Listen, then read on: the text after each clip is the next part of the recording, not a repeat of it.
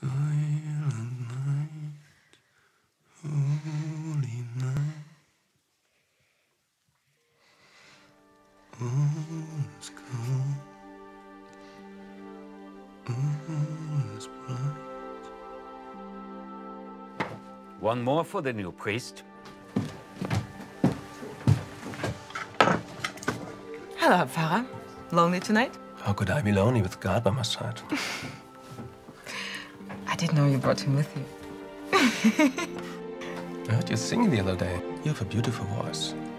You just joined the church choir. Some unusual methods you're using. Yes, but they're working. Working for whom? For the scum of this town? Isn't it our ministry to help them change? Our ministry is to prevent people from becoming what these people already are. Bless me, Father, for I have sinned. Does Father Noestler know about all this? You didn't like the performance of our choir? Don't you ever let a woman sing in the choir again.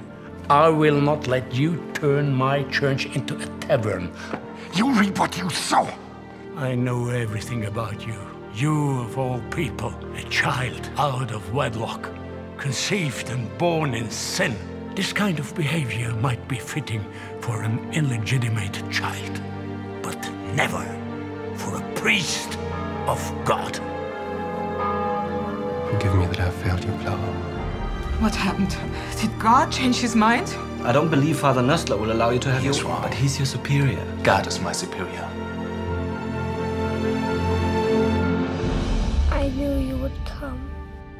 When hope is gone, and we are left in darkness, there comes a light.